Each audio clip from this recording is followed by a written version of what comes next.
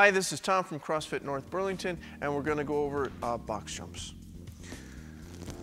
The box jump is used in CrossFit really to generate strength in the legs and more importantly, explosion from the hips. So like you would find in almost all the movements in CrossFit with the exception of just a few, we try to generate all our power in the hips.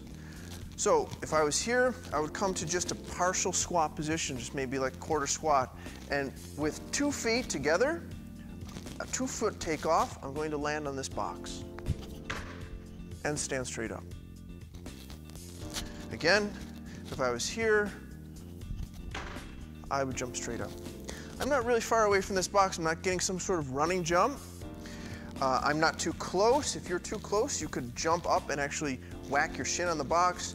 I'm maybe half a foot away from the box, up onto the box, and I stand straight up, which is really important because in CrossFit we need to emphasize full extension of the hips to generate full power. So whatever you're doing, it starts here and it ends with you going like that. So we think about on the box, standing to full extension.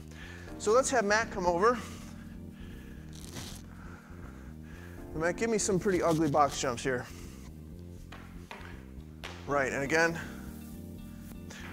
Right. A one foot takeoff is understandable because jumping on a big box can seem a little intimidating. So if you get this running start, you might do a one foot takeoff. Again. But we're looking for a strong position, a squatting position, and power from the hips. So give me a nice one, two foot. Right, and now we stand straight up. So give me your second version where you didn't stand straight up. Right, so you'll see that a lot too. People jumping on the box. Those are not box jumps in CrossFit. Give me a nice one.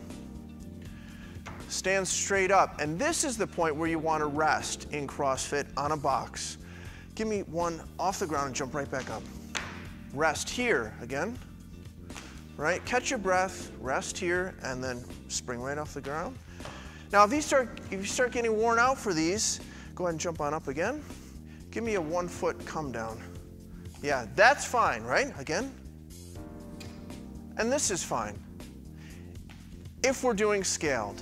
If you're doing scaled, you can do one foot up and one foot down. box jump.